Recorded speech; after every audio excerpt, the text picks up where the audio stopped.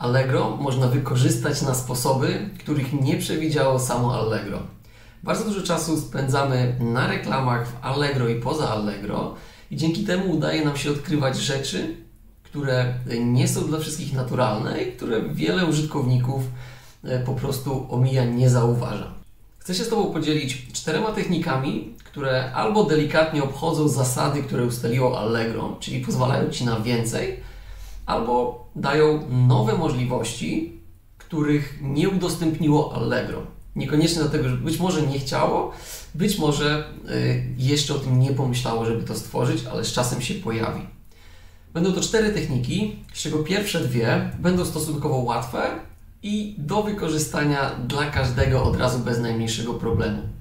Chodzi o korzystanie z samego panelu Allegro Ads. Jeżeli tworzyłeś kiedyś reklamy oparte na bestsellerach, no to wiesz, że Allegro samo dobiera e, oferty, które są bestsellerami, które mają duży potencjał na sprzedaż. No i często to całkiem fajnie działa. Więc warto, warto to wykorzystać e, chociażby dla porównania z własnymi działaniami, z własną optymalizacją. Ma to jednak e, swoje wady, bo Allegro nie pozwolił nam zarządzać e, placementami, czyli miejscami emisji, kiedy korzystamy z doboru ofert poprzez e, bestsellery. Tak więc jeżeli, się, jeżeli tworzyłeś grupę, na samym końcu było miejsce emisji i tam zauważyłeś, że już są zaznaczone wszystkie kropki, nic z tym się nie da zrobić. Więc jedną z technik będzie właśnie w jaki sposób możemy to ograniczenie obejść i zarządzać tymi miejscami emisji w ten sposób, żeby zostawić tylko te, które działają najlepiej, te nie działające wyłączyć. Druga rzecz to jest połączenie bestsellerów z reklamą Google Ads w panelu Allegro Ads. Żeby nie mylić z oddzielną reklamą w, w Google, e, w panelu Allegro Ads jest możliwość zaznaczenia powierzchni Google'owej, natomiast nie można zaznaczyć tej powierzchni Google'owej i bestsellerów, bo po raz kolejny bestseller, jak, e, jak tworzysz grupę opartą na bestsellerach, ma zaznaczone wszystkie miejsca emisji, których nie da się odznaczyć. Mówię o tych miejscach emisji w, wewnątrz Allegro i możesz jedynie doznaczyć lub odznaczyć Google'a.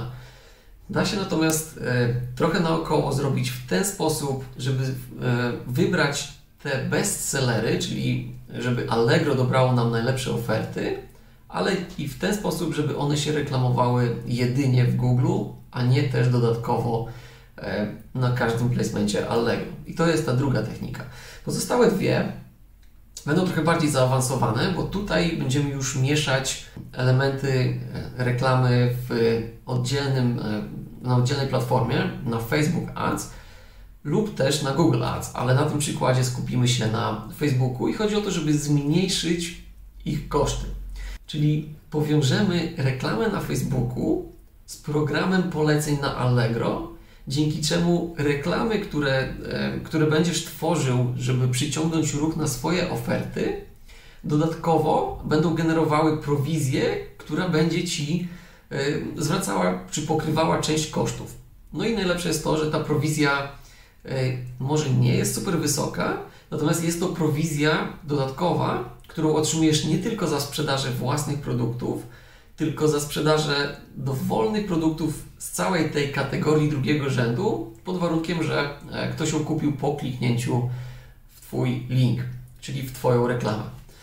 I na tym się skupimy dzisiaj. A ostatnia rzecz z czterech to będzie e, w jaki sposób usprawnić mierzenie tych reklam. Dużą bolączką jest to, że jeżeli tworzymy reklamę e, w Facebook Ads, i ten ruch, który przychodzi do Allegro, jeżeli działamy w ten sposób, no tracimy o nim wszystkie informacje. Nie mamy w jaki sposób e, dowiedzieć się, kto przeszedł i co zrobił, dlatego że Allegro nie pozwala na wpięcie piksela Facebooka, który zbiera te informacje. No i pokażę Wam, w jaki sposób wpiąć taki piksel, żeby mieć informację o tym, kto z reklamy kliknął i wszedł na Allegro. Co Wam to da? Da to to, że później będzie można stworzyć reklamę retargetingową i do tej osoby, która już była na Allegro, ale najprawdopodobniej jeszcze nie kupiła, możesz yy, reklamować się po raz kolejny i tworzyć grupy podobne, czyli jeżeli ileś tam tych osób się zbierze kilkaset, Możesz stworzyć grupę lookalike, która zbierze podobne cechy tych wszystkich ludzi i będzie Ci dobierało do reklamy kolejne osoby, które są do nich podobne i tym samym mają większą szansę na zakup. Więc y, to są wszystkie rozszerzenia, których e, albo Allegro nie udostępniło, albo e, nie wie, że tak można i być może jest im to nie na rękę.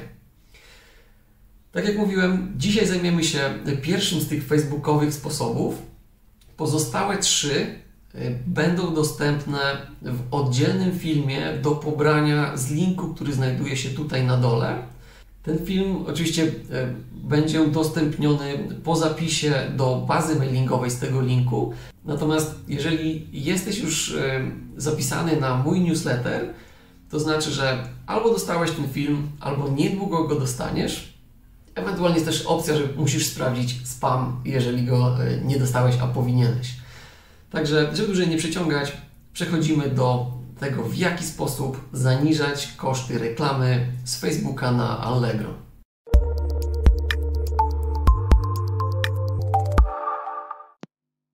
Ok, w takim razie co i dlaczego? E, dlaczego w ogóle zakrzątam sobie głowę e, próbowaniem reklamowania na Facebooku, jeżeli tutaj oryginalnie widzimy na Allegro Ads jest już możliwość reklamowania na Facebook Ads, więc y, po co w ogóle kombinuję i, i, i chcę z tym cokolwiek zrobić. Otóż ten dostępny tutaj w Facebook Ads jest bardzo ograniczony. E, to jest e, jedynie retargeting dynamiczny. Co to znaczy? Znaczy to mniej więcej tyle, że korzystając z tego formatu w Allegro Ads, e, możemy wyświetlać jedynie swoje oferty jedynie klientom, którzy już je widzieli, już je odwiedzili. Z jednej strony to jest super fajne, ponieważ e, taka osoba, która już widziała, e, jeżeli zobaczy tę reklamę po raz kolejny, e, no jest największa szansa, że kupi, bo być może po prostu wtedy zapomniała, jeszcze nie była przekonana, a już ten produkt zna, więc jak zobaczy go za drugim razem, to jest szansa, że kupi. No i to jest akurat ok. A co w sytuacji, jeżeli chcemy ściągnąć nowy ruch z Facebooka, no i wykorzystać do tego reklamę na, na Allegro. No nie da się, po prostu się nie da. Trzeba to zrobić zewnętrznie, e, czyli e, tworzymy reklamę albo w menadżerze reklam e, na Facebooku, albo w centrum reklam, co jest łatwiejsze. O różnicy jeszcze powiem później. Natomiast to też nie jest tak kolorowo, że robimy sobie reklamy na Facebooku, i od razu mamy setki sprzedaży, wszystko się super opłaca. To ma swoje wady i zalety. Ogólnie zalecam spróbować ten format reklamy, czyli reklamy na oddzielnym, na Facebooku, na oddzielnej platformie i e, przyciągać ruch do naszych e, ofert, żeby zobaczyć jak to działa. Natomiast to jest ryzykowne, no bo nie wiemy kto przyszedł, e, kto w ogóle kupił czy, ten, czy, to, czy to w ogóle się opłaca. Bo skąd mam wiedzieć, czy reklama się opłaca, jeżeli nie, nie widzimy, czy ktoś kupuje, czy nie. E, to jest to największe ryzyko. No i nie zbieramy informacji o tych, e, o tych osobach, które przychodzą, czyli nie możemy do nich wracać z reklamą, ani później budować lookalike'ów, czyli e, grup docelowych, podobnych osób do tych, które już weszły naszą ofertę czy kupiły. Tak więc mimo iż warto sprawdzić, ten problem mierzenia jest bardzo trudny. No i oczywiście mamy na to jakiś sposób, który w pewnym, e, no, w pewnym stopniu działa. Nie wszystko jest idealne, jeżeli kombinujemy rzeczy naokoło i obchodzimy um, oryginalne systemy Allegro. Natomiast tutaj e, teraz mówimy o systemie, który pozwoli nam e, tak jakby trochę to ryzyko jeszcze złagodzić tym, że po pierwsze będziemy widzieli jaka, jakąś efektywność e, tych reklam, a po drugie, e, będziemy dostawać dodatkowy zwrot, niezależny od tego, czy nasze oferty akurat się sprzedają dzięki tej reklamie. Więc zalecam ostrożność, ale też zachęcam, żeby spróbować, e, bo zdarzają się przypadki, kiedy to się opłaca. No i dobrze, więc na czym całość polega? Całość polega na tym, żeby stworzyć, żeby dołączyć do programu polecającego. Allegro polecam. E, możecie o tym poczytać więcej. Wystarczy w Google wpisać e, Allegro polecam, czy program polecający i znajdziecie tu wszystkie informacje. Są po raz kolejny pewne ograniczenia. Program jest tylko dla kont prywatnych. Czyli jeżeli posiadasz konto firmowe, no to z tego konta nie będziesz mógł dołączyć do e, programu Polecam i tym samym nie będziesz mógł kontynuować tej metody, o której rozmawiamy. No i pojawia się pytanie, czy to jest zgodne z regulaminem? E, no i e, nie wiem, czy wiesz, ale od kwietnia Prismat Media jest partnerem Plus Allegro, więc wierzę, że żyjemy w dobrych stosunkach i zależy mi, żeby te stosunki takie zostawić. Dlatego Sprawdziłem dokładnie regulamin, zanim zdecydowałem się podzielić e, z Wami tą wiedzą. No i w regulaminie nie znalazłem kompletnie nic na ten temat, zresztą zaraz Wam to pokażę. E, dodatkowo, tak na logikę, to wciąż jest bardzo opłacalne dla Allegro, bo po pierwsze, my nie wyprowadzamy w ten sposób ruchu z Allegro do zewnątrz, tylko wciąż to są pieniądze sprzedawców Allegro wykorzystywane, wykorzystywane po to, żeby z zewnętrznego systemu, czyli spoza Allegro, ściągnąć użytkowników do Allegro, gdzie zakupią, a Allegro zarobi na tym prowizję. Więc y, po pierwsze, to jest, y, to jest ta korzyść. No i po drugie, na tym polega program polecający, żeby uzewnętrzniać się z linkiem, więc E, możesz tworzyć reklamy, gdzie wklejasz e, link afiliacyjny, czyli ten z programu polecam, po to, żeby zyskiwać nowe sprzedaże i prowizje. To jest jak najbardziej dozwolone, tylko prawdopodobnie by się nie opłacało. A przez to, że łączymy tutaj dwa elementy, czyli e, reklamy własne plus polecający program polecam, no to w ten sposób zaczyna to trochę mieć więcej sensu. Czyli jedyne co robisz, to tak naprawdę wyrównujesz trochę te szanse, w którym reklamujesz wciąż Allegro na zewnątrz. Czyli Facebook zarabia, Allegro zarabia i w ten sposób ty też masz większą szansę, żeby zarobić. No i jak to wygląda na regulaminie? Więc tu mamy regulamin programu Allegro Polecam. Uczestnikowi nie wolno generować sztucznego ruchu lub stosować rozwiązań mających na celu ominięcie zabezpieczeń stosowanych przez Allegro.pl lub polegające na fałszowaniu danych w ramach programu. Więc ten punkt mówi o generowaniu sztucznego ruchu, to jest, to jest jedyne, co jest zakazane. Dalej, ten sztuczny ruch jest definiowany jako e, transakcje, bezdon, be, transakcje będące następstwem automatycznego załadowania się strony internetowej, oprogramowania aktualizującego indeksy wyszukiwarek internetowych, działania robotów internetowych, genera generatorów skryptów itd., tak itd. Tak to są ewidentne e, oszustwa reklamowe. Nie będę się w to zagłębiał, no ale żeby dać Wam pojęcie, czym może być takie oszustwo reklamowe, to są specjalne e, aplikacje czy oprogramowania. Jeżeli macie przypadkiem zainstalowane u siebie takie złośliwe oprogramowanie, y, to przed dokonaniem zakupu na jakiejś stronie, to oprogramowanie mogłoby w waszym cookies zapisać informację o tym, właśnie o takim linku, że zanim przyszliście to coś kupić, to byliście u innego partnera, w którego link kliknęliście i któremu prowizja się zliczy tak naprawdę nie byliście, nic takiego nie było, to jest po prostu oprogramowanie, które wrzuca tak jakby tą informację, że coś takiego się stało, no i wtedy dla Was jako konsumenta to kompletnie nie robi żadnej różnicy, natomiast Allegro musiałoby wypłacić prowizję za tą sprzedaż, no, temu oszustowi, który e, takiej, takiej metody, taką metodę wykorzystuje. Więc e, to jest przykład. Chodzi o jawne oszustwa. My nie mamy z tym nic wspólnego. My po prostu wysyłamy reklamy, ruch do real, realnych użytkowników e, i wszystko tu się jak najbardziej e, zgadza.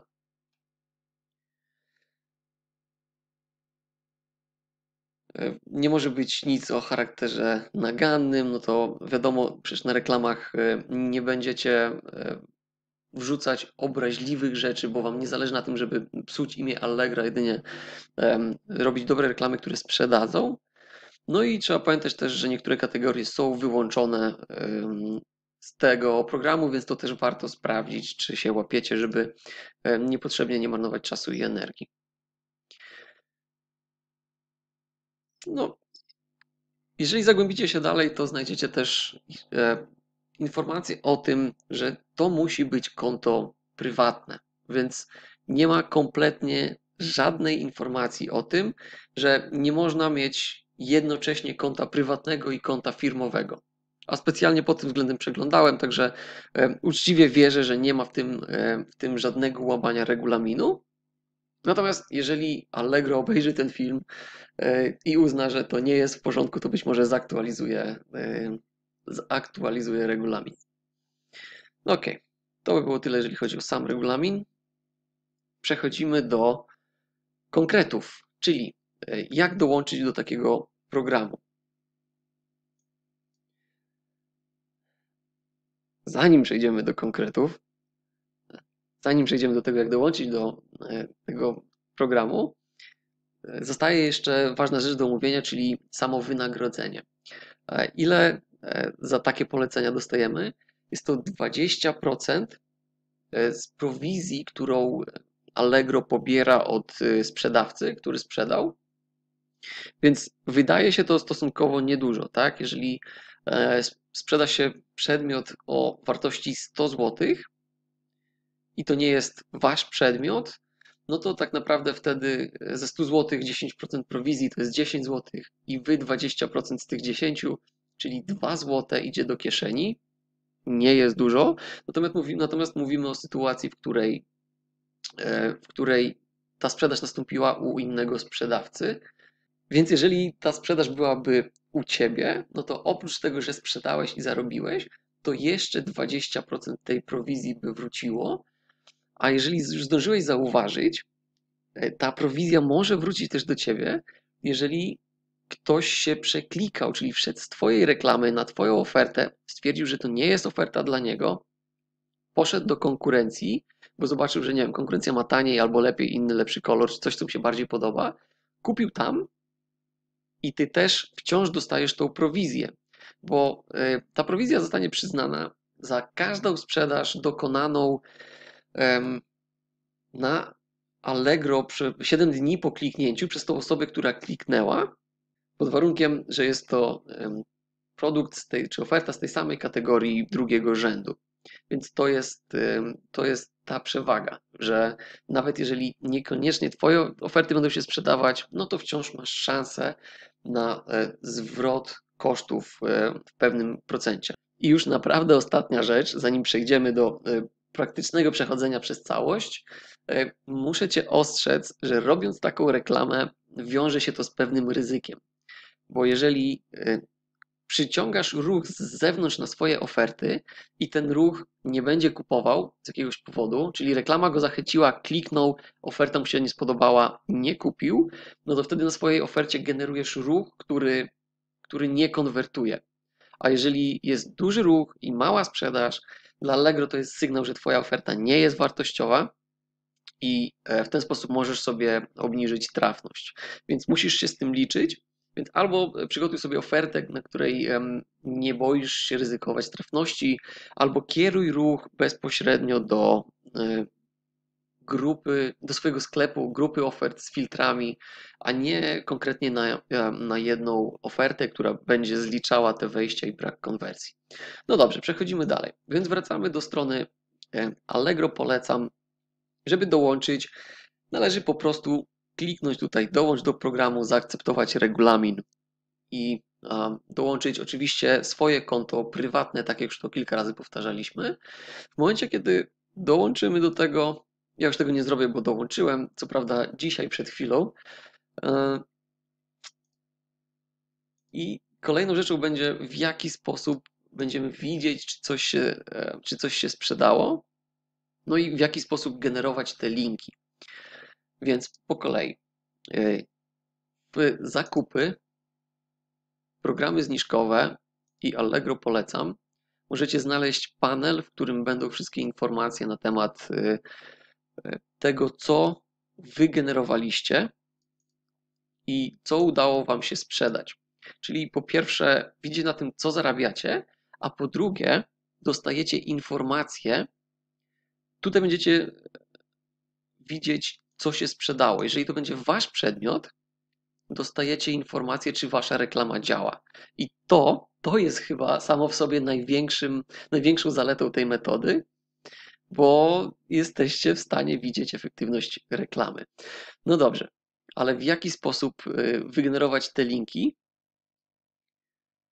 Musicie otworzyć dowolną ofertę, którą chcecie reklamować, i to będą reklama pojedynczych linków do konkretnych ofert. Więc w tym przypadku e, to są przykładowe ogrodniczki, które e, kliknąłem ze strony głównej, nie znam tego sprzedawcy.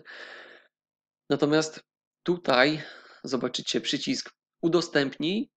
Jedyne co trzeba zrobić, kliknąć, pobrać ten link i ten link wklejamy później e, w reklamie na Facebooku. Pokażę Wam dokładnie gdzie. Jeszcze tylko rozłóżmy go delikatnie na części pierwsze. E, co się składa na ten link? Zobaczcie. To jest po prostu adres, e, link do tej oferty. A później pojawiają się parametry. To są parametry, które system ze statystyk, system trackingowy, system monitoringu Allegro e, odczytuje i dzięki niemu wie skąd pochodzi ruch, czy e, komu przyznać prowizję. Na UTM-ach, te, te parametry nazywają się UTM, e, na tym opiera się Analytics, więc jeżeli masz też sklep poza Allegro i korzystasz już z jakiejś formy trakowania ruchu, czy monitoringu ruchu, no to powinien być już zaznajomiony z tymi mm, UTM-ami. Tak więc to jest ta część, po której Allegro identyfikuje, czy przyznać Ci prowizję, czy nie. No i po przejściu na nią e, ona też będzie widoczna e, tutaj w linku. W ten sposób też możecie weryfikować, czy e, po przekliknięciu w reklamę link przekazał się poprawnie i czy ten element się znajduje, bo on jest, on jest tutaj najważniejszy. Dobra, jesteśmy w programie, e, widzimy gdzie są efekty. E, tutaj widzicie też ten link, który się wygenerował. Spróbujmy przejść na inną, to na inną e, ofertę, udostępnij. Bierzemy inny link, włączamy inny link i to najpewniej chwilę zajmie, nie pojawi się tutaj od razu. A, widać od razu, więc to jest ciekawe, system działa sprawnie, więc od razu pojawia nam się tutaj kolejny link, który wygenerowaliśmy do kolejnej oferty, więc możemy go monitorować.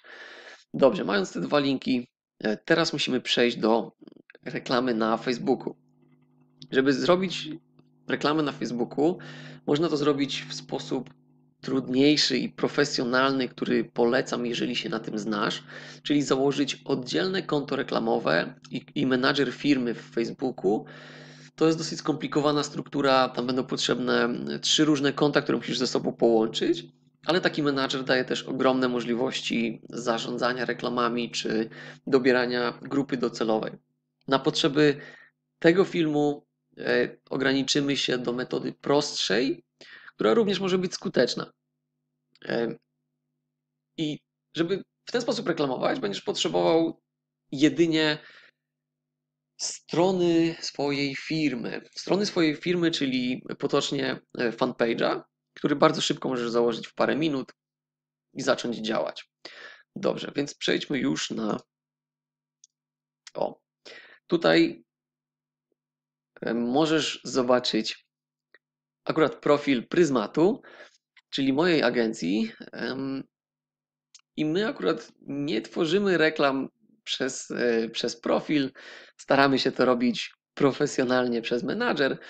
Natomiast e, też jakieś tam teraz mm, specjalnie na potrzeby tego filmu chociażby puszczałem e, reklamy, żeby pokazać jak to wszystko działa i odświeżyć sobie pamięć. Tak więc trzeba się przeklikać do centrum reklam. Centrum reklam to jest nasz panel. Tutaj widać, że Coś tam się działo, niedużo, ale już e, widzimy, jak wygląda panel reklam, które obecnie chodzą. Mamy jakieś tam główne statystyki. No i trzeba po prostu utworzyć e, nową reklamę. Tutaj będziemy mieli do wyboru kilka celów. E, ja przejdę przez te ustawienia bardzo szybko. Ty będziesz musiał poświęcić, jeżeli jeszcze tego nie robiłeś, troszeczkę więcej czasu, żeby to zrobić w sposób odpowiedni, ale jeżeli chcesz, żebym zrobił taką reklamę, skupiając się właśnie nie na całości łączenia tych dwóch systemów, tylko na samej reklamie na Facebooku, która mogłaby prowadzić na Allegro, proszę daj mi znać albo w komentarzu, albo napisz do mnie prywatnie. Ja chętnie taki film nagram. No i to samo e, dotyczy się Google'a, przepraszam, dotyczy się Google'a, bo mając ten link, równie dobrze możemy tworzyć takie reklamy na, e, na Google'u. Przyznam się, szczerze, otwarcie, że jeszcze tego na Google nie robiłem, to znaczy nie uczyłem tych dwóch systemów. Natomiast jeżeli ktoś jest ciekawy i chciałby zobaczyć, jak to mogłoby wyglądać, albo jak działa, no to e, po raz kolejny, albo w komentarzu, albo na priv, dajcie mi znać. Postaram się taki film nagrać. E, ale wracając tutaj, na szybko, więc musimy wybrać cel, pod jaki będzie, reklamy będą optymalizowane, czyli w jaki sposób Facebook będzie się starał dobierać osoby do naszych reklam. No i z racji tego, że w większości nie jesteśmy w stanie wykorzystać dlatego że korzystamy na, kierujemy ruch na Allegro, zależy nam na zwiększ liczbę odwiedzin w witrynie, czyli będziemy szukać ludzi, którzy chętniej przejdą na naszą stronę. No i w tym przypadku naszą stroną będzie Allegro, więc jak oni już tam przejdą, e, tracimy informacje o tym, co robią dalej, poza zakupem oczywiście, który wiemy z, z programu poleceń. Natomiast zależy nam, żeby tego ruchu było jak najwięcej i on był jak najtańszy. Możemy użyć e, konkretnego posta, Albo możemy stworzyć reklamę od samego początku, czyli możecie opisać e, najważniejsze przewagi waszego produktu, czy, czy jakieś takie wyróżniające cechy, coś, co zachęci do zakupu. E, tutaj możemy wybrać obraz, możemy zmienić ten obraz na konkretny obraz waszego produktu. No i pamiętajmy, że to nie jest Allegro, więc tutaj w tej reklamie to nie musi być miniatura z białym tłem, to może być dowolny obraz, który w atrakcyjny sposób y, przedstawia wasz produkt, który chcecie sprzedać. Więc tutaj dosyłamy nowe. Mm, możemy wybrać, jaki będzie CTA, Call to Action, czyli w jaki sposób chcemy, do jakiej akcji chcemy nawoływać użytkowników. No i takim najbardziej oczywistym będzie w tym przypadku kup teraz, no bo e, tylko na takiej akcji nam zależy. Po wybraniu e, odpowiedniego CTA pozostanie nam e, parę rzeczy. I tutaj niżej widzimy tą najważniejszą, czyli miejsce docelowe, czyli link docelowy. Tutaj wklejamy ten link, który wygenerowaliśmy wcześniej z programu. Natomiast tutaj będzie jeszcze jeden mały problem, i zanim to zrobimy, przejdźmy przez resztę, bo tu jest jeszcze parę rzeczy, które musimy uzupełnić, zanim będziemy wyświetlać. Nie będę przez to teraz przechodził e, super dokładnie, e, ponieważ i tak już e, skupiamy się teraz na czymś innym i tak już sporo nam zeszło w tym, w tym wideo.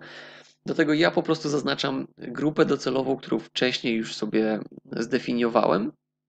Natomiast y, jeżeli ktoś byłby zainteresowany tym, żebym e, dokładnie przeszedł też przez ten element, czyli jak dobrać grupę e, docelową, grupę odbiorców, w jaki sposób ją zdefiniować i tutaj ustawić, no to dajcie znać w komentarzu albo na, na prywatnej wiadomości, no to chętnie nagram taki film i później e, wrzucę. Kiedy już wybierzemy, do kogo chcemy tą reklamę kierować, określamy Y, określamy, jak ma się wyświetlać. Jeżeli ma być z konkretną datą emisji, no to wybieramy datę, jaki chcemy budżet na to przeznaczyć, lub w sposób ciągły, co jest raczej sposobem preferowanym najczęściej, jeżeli kontrolujecie koszty, bo jeżeli ustawicie sobie datę emisji, wiecie, że chcecie poświęcić na reklamę 50 zł, ona się wyda, później możecie przeanalizować wyniki. Natomiast jeżeli chcecie ciągle reklamować i są już z tego efekty, wybieracie w sposób ciągły, ustalacie budżet dzienny i macie pewność, że reklama Wam się nie skończy, tylko cały czas sprowadza ruch.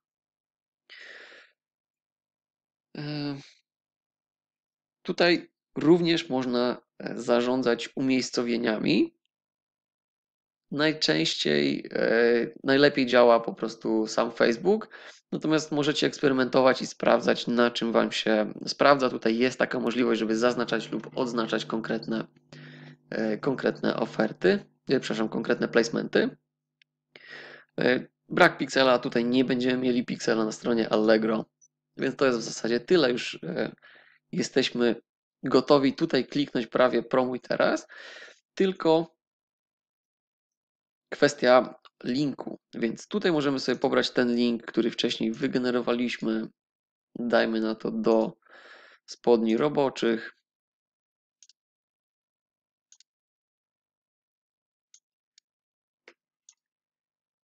i najprawdopodobniej za chwilę mm, Facebook nam pokaże, o właśnie, jest błąd. I o co w tym będzie chodzi?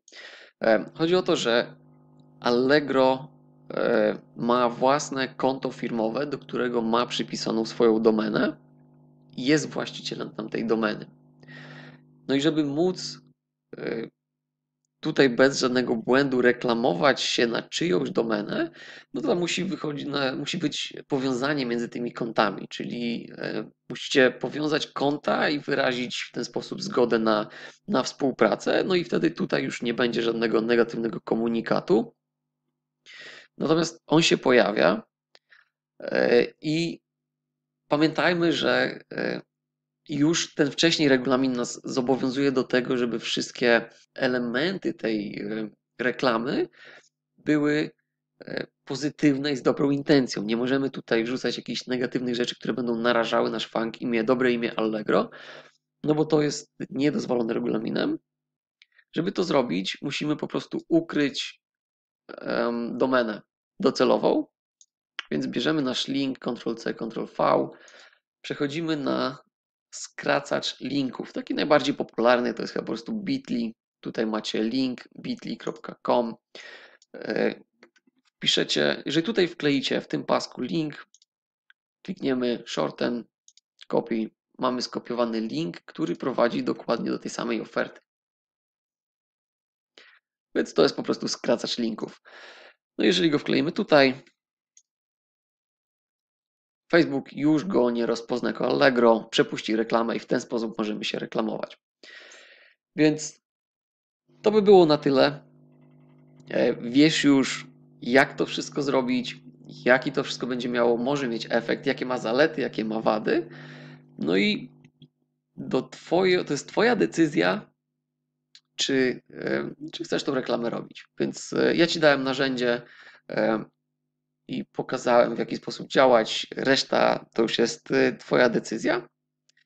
I na tym kończymy pierwszą z czterech technik, którą chciałem omówić.